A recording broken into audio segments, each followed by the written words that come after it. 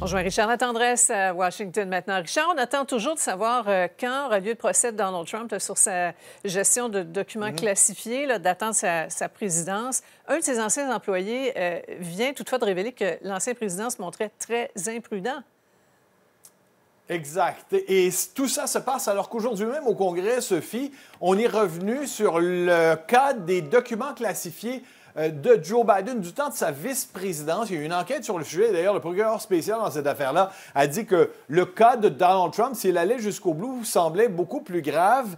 Mais euh, l'employé dont je vous parle, un ancien employé de Mar-a-Lago, Brian Butler, il était là, il a euh, sur place reconnu qu'il déplaçait des boîtes constamment et en particulier des boîtes vers un avion, vers une voiture qui allait déplacer ça vers un avion. Au moment même où à la Maison-Blanche, le président, l'ancien président Biden recevait des agents du FBI qui lui demandaient des comptes sur ces boîtes de documents classifiés de la Maison-Blanche. Il a donné une interview à ma collègue, de CNN, Caitlin Collins, et, dans cette interview-là, il a raconté la facilité avec laquelle Sophie, l'ancien président, partageait des secrets militaires avec ses invités.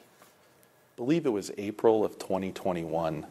Um, there was a member, Anthony Pratt, who he was coming. He flew in the night before. He's an Australian billionaire.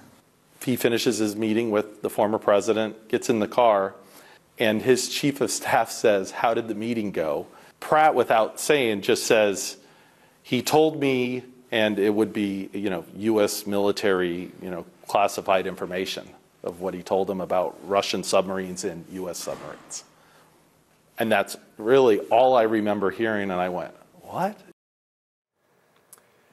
Par ailleurs, Sophie aveu sans ambiguïté de la part de l'ancien président sur ses intentions s'il rentre, revient à la Maison-Blanche, s'il est élu, un message sur son média social Truth Social dans lequel il dit Mes premiers gestes seront de fermer la frontière, de forger des puits de pétrole, et là, je le cite, Sophie, de libérer les otages du 6 janvier injustement emprisonnés. Il fait référence à l'assaut contre le Capitole, une réécriture complète de l'histoire, qu'on sait très bien que ces gens-là, vraiment, ont causé des dégâts et ont fait des blessés, voire des morts avec cet assaut contre le Capitole. Ouais. D'ici là, Richard, c'est-à-dire euh, avant d'en arriver à un retour de Donald Trump à la présidence, le gouvernement Mhm. canadien se donne les moyens d'éventuellement parer les coûts.